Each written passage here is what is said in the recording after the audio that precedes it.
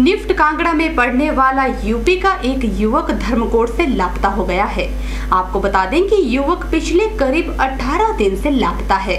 युवक के लापता होने का समाचार मिलने के बाद परिजन मैकलोडगंज पहुँचे और पुलिस ने गुमशुदगी का मामला दर्ज करवाया। मैकलोडगंज पुलिस ने मामला दर्ज कर युवक की तलाश शुरू कर दी है।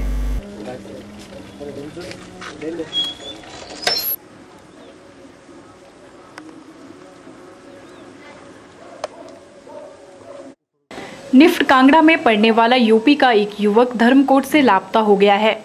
अभी तक भागसुनाथ धर्मकोट और त्रियुंड में तलाश की जा चुकी है। प्राप्त जानकारी के अनुसार यूपी के रुड़की का रहने वाला अब्दुल मनान पुत्र अवरार अहमद कांगड़ा निफ्ट में फ़ैशन डिज़ाइनिंग कर रहा है।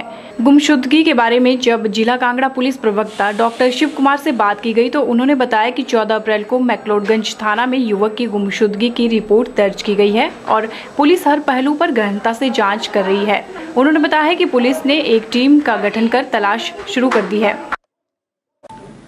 चौदह तारीख को हमारे पास जो है मिस्टर अबरार अहमद, जो कि रुड़की के रहने वाले हैं, उन्होंने कंप्लेंट दर्ज करवाई थी कि उनका बेटा अब्दुल मनन, जो कि 21 इयर्स ओल्ड है और निफ्ट कांगड़ा में बी बीएफटी सेकेंड ईयर का स्टूडेंट है, वो जो है चार तारीख से जो है, गायब है। चार तारीख को वो धर्मकोट में अपने एक दोस्त के साथ जो है, घूमने आया था और उसका उन्होंने जो है अलग अलग दो कमरे लिए और मॉर्निंग में उसके उसके as per person of his friend morning में पाँच बजे जब उसने देखा तो वो कमरे में नहीं था।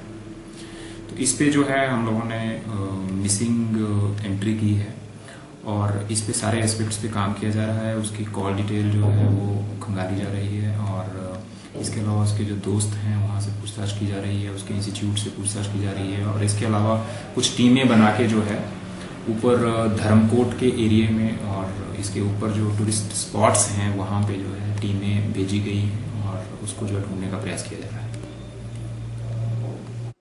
के चैनल के लिए कांगड़ा से निपी बादल की रिपोर्ट।